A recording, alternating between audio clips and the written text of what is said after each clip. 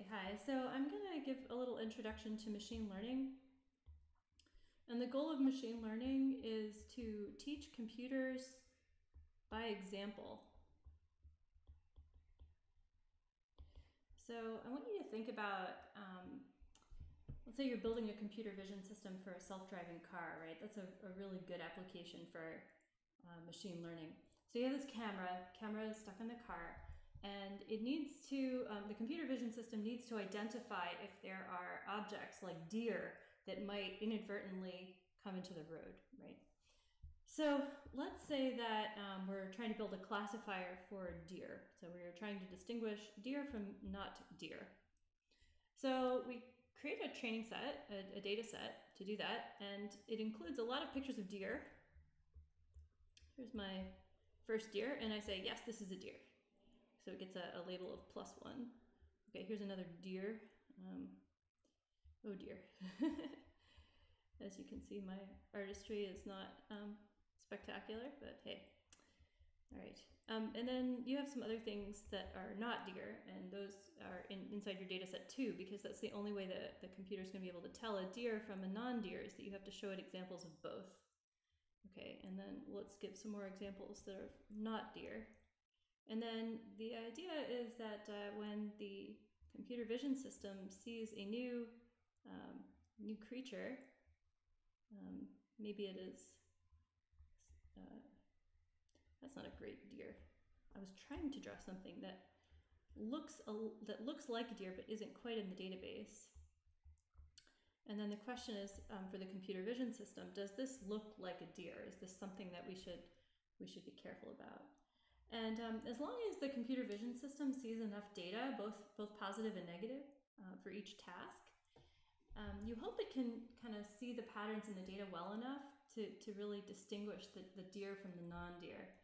Um, and you know, machine learning is, is pattern. A lot of this is pattern recognition, right? There's no intelligence. It's artificial intelligence. It's not not real intelligence. It's just pattern recognition. And um, the data or the model can be imperfect. So, for instance, if you have this large database of images, um, some of them can be mislabeled. I mean, that can that can actually happen sometimes because you have a big data set, and sometimes it's pretty noisy. Uh, and then you know you just do the best you can um, with with the data that you have. Um, so I want you to, as part of all this, I want you to get into the mode of thinking about images as being vectors. Okay, so that's like a, a key idea in machine learning is that when you represent data, you're going to try to represent it as as vectors so that you can work with it in the computer. So I'll write here images as vectors. And um, you can think about an image as a vector of red, green, and blue values. Okay, so you, you have your, your image right there. And here it is. And the image is comprised of pixels. So it's little, little tiny pixels. And then each pixel can be represented as a vector of its uh, red, green, and blue values. So I was, I was trying to draw here a, a pixel here.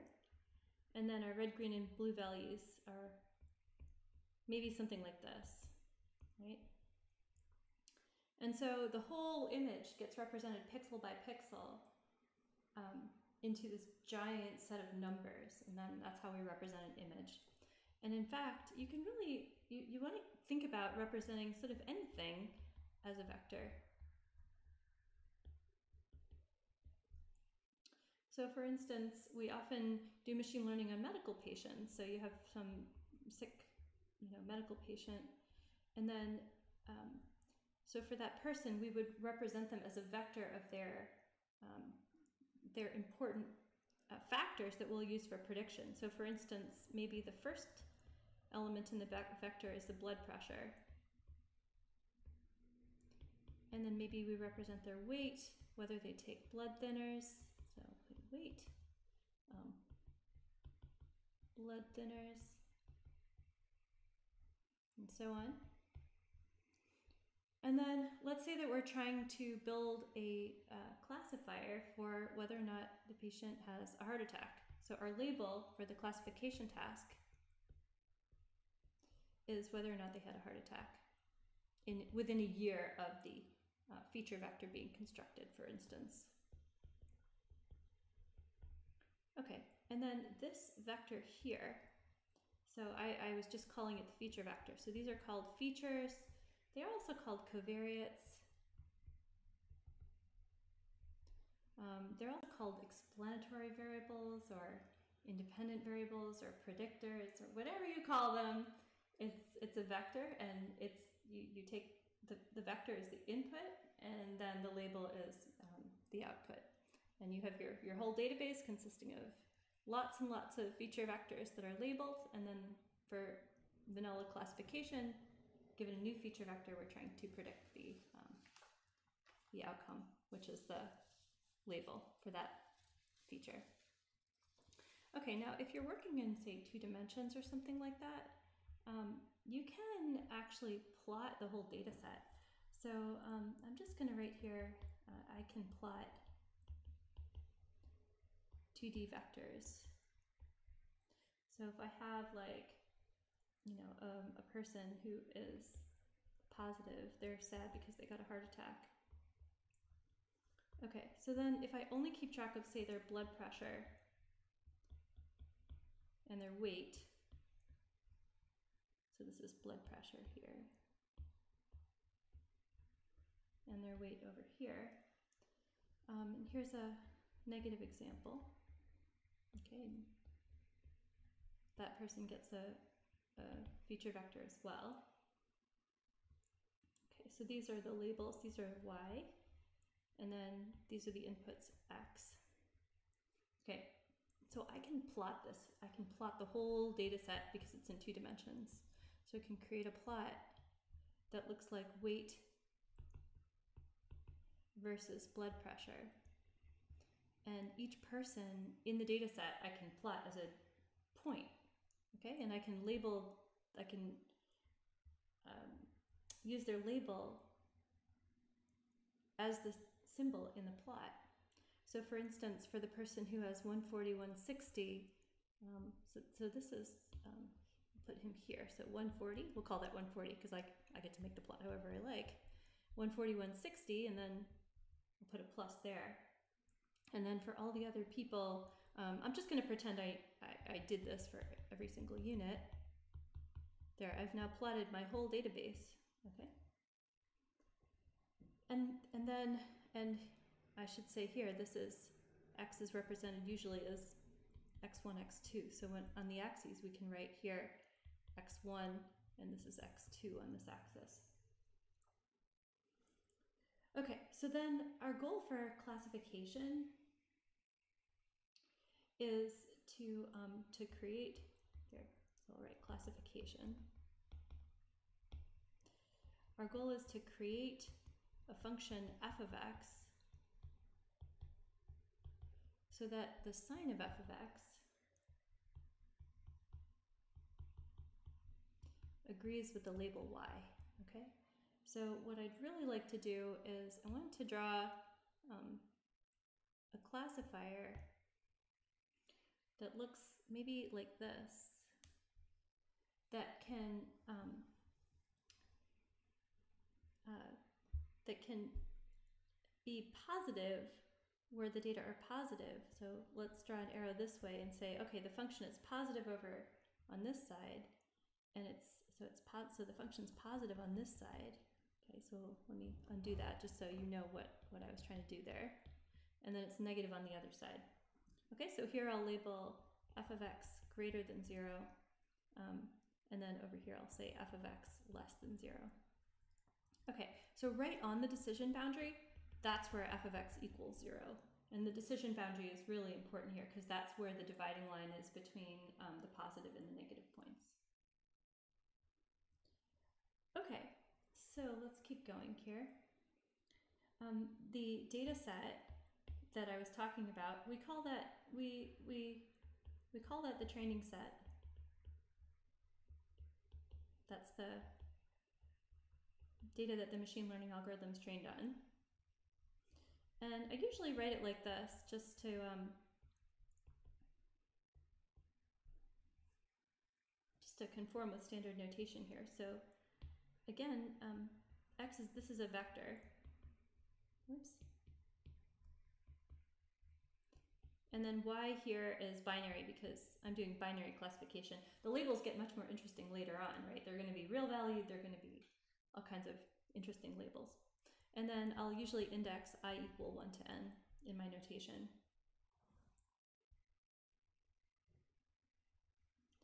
Okay, the machine learning algorithm.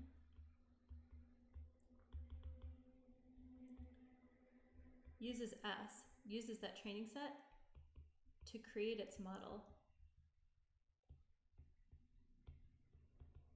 f of x, okay? Sometimes I forget the vector notation, so I apologize if I do that. Okay, so what is machine learning useful for?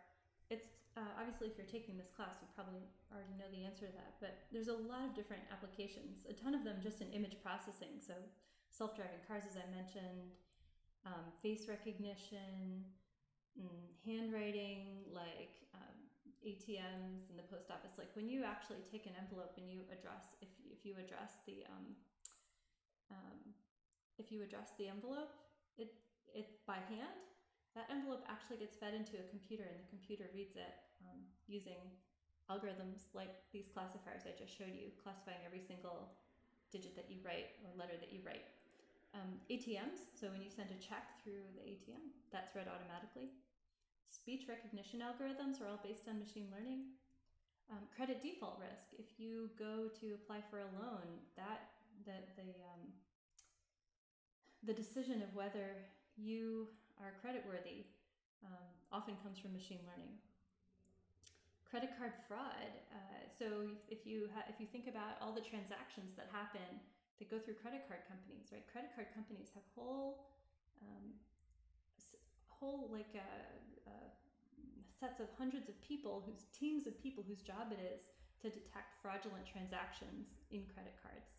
And those algorithms are based in machine learning.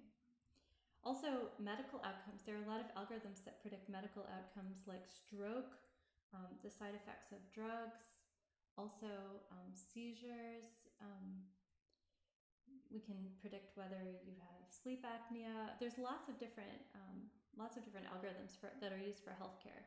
Um, I think the main the main um, type of application machine learning's been used for in the past is marketing, and uh, you know it's it's it's kind of in some ways unfortunate that you know these powerful tools are, have really really grown up in just sort of advertising, but that's the truth of the of the field.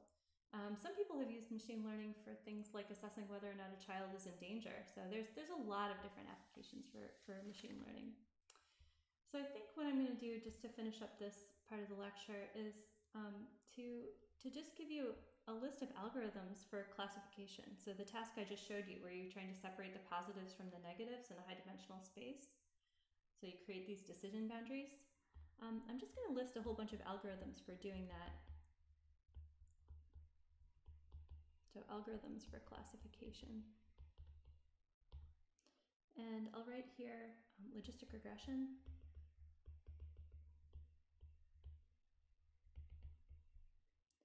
Decision trees. Boosting. Support vector machines. Random forests.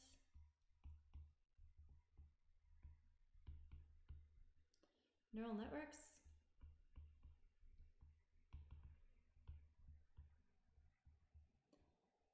And the perceptron.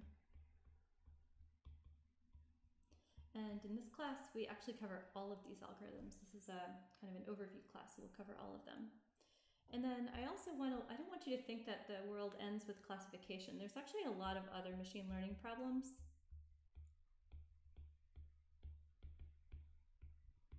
So regression. Regression is where the labels, instead of being plus or minus one, um, in regression the labels are real valued, so they, they're numerical. Density estimation. Clustering. And um, in clustering, you're dividing the data into groups that are naturally close to each other ranking. Like here, ranking, you're trying to rank the um, the observations in order of their say maybe maybe the objects are airplanes and you're trying to rank them in order of their need of maintenance or something like that.